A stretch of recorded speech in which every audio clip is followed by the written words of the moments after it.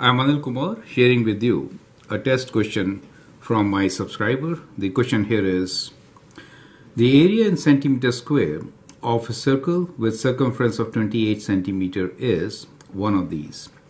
You may have to select the correct option.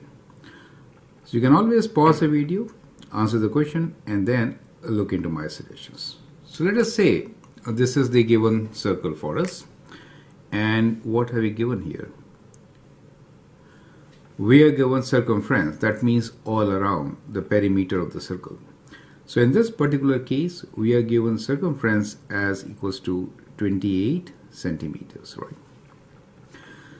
Now circumference formula is 2 pi r. So we could always write this as 2 pi r equals to 28. We'll include the units in the answer isolate r. So we get r equals to 28 divided by 2 times pi, which is 14 over pi, right?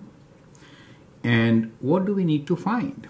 Well, we need to find area, right? So area is, formula is pi times r square.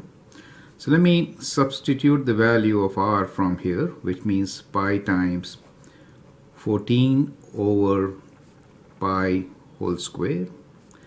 Now since all these answers are exact values, we'll maintain 14 over pi. We could write this as pi times 14 square and taking out this pi outside the brackets we get pi square in the denominator and that gives you 14 square in the numerator pi and pi cancels and we are left with 1 pi here. You get the point, right? So, like this. So the correct option for us is 14 square by pi, which is option D. So that is how we could find the answer for the given question. And I hope that helps. So let me thank all my subscribers to post excellent questions and actively participate in my channel. Thanks for watching and all the best.